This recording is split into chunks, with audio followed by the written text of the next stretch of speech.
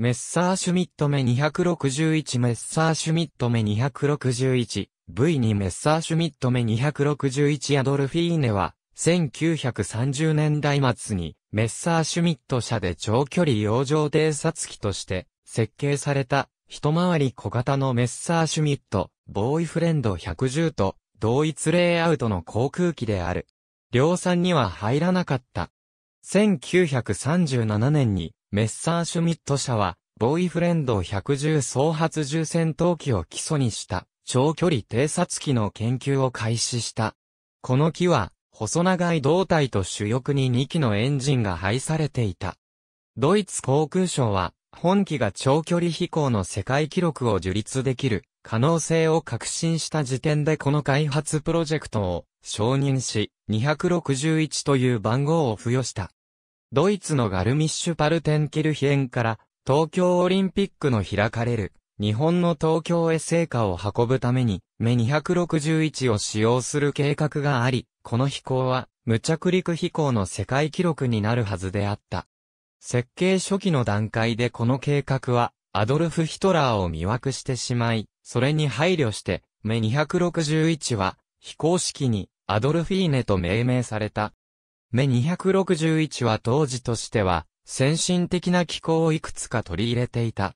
一本桁の全金属製主翼は内部に燃料タンクを収納するように設計され、付け根部分の厚みは胴体の高さとほぼ同じであった。胴体の断面は実質長方形で2名の操縦士、通信士、広報士、機関士の計5名分のスペースがあった。動力は DB606 として知られるものを2機搭載していた。